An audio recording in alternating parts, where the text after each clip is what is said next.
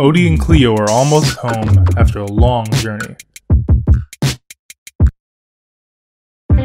Everything is as it always is. The sun is shining, and the neighbors are out walking their dogs. Odie, look at that puppy!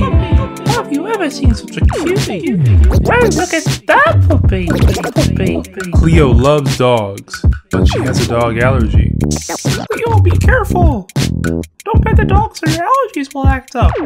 But, but they're so cute! And there are lots of them.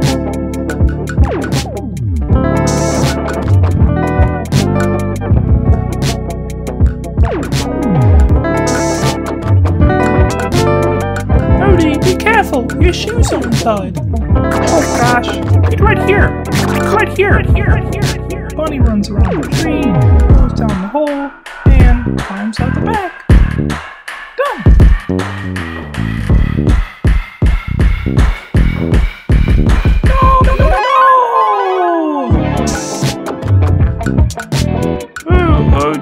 I, I couldn't help myself. My medication is at home. Hi, hi, Cleo. Hi, Odie.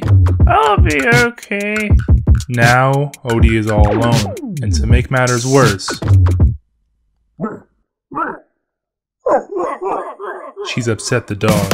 The dog chases Odie far away, all the way to her old neighborhood across the street. Oh no! Get, get, away from me! Go fetch! Go, go fetch!